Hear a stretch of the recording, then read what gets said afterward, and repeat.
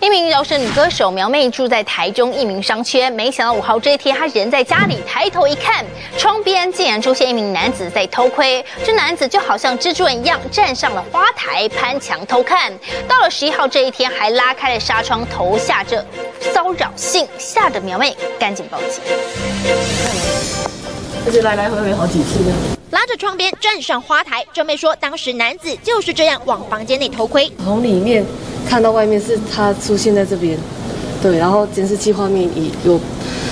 可能有十次不夸张。走道上就有监视器，穿着蓝色上衣的男子总共来了两次。五月五号，光天化日之下，先是来回观望，确定走道没有人后，锁定正妹房间，像蜘蛛人般攀墙窥视，不但爬了又探，探了再爬，总共探了七次。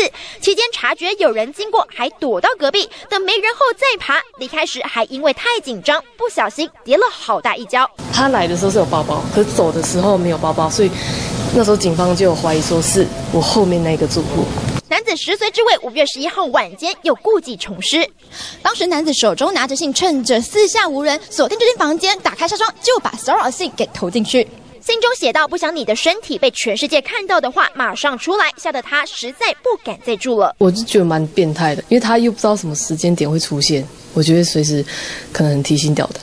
事发在一名商圈，这栋大楼的花台，只要一踩上去，就可以轻易看到房间里头。而穿着火辣的正妹叫苗妹，其实是名饶舌歌手。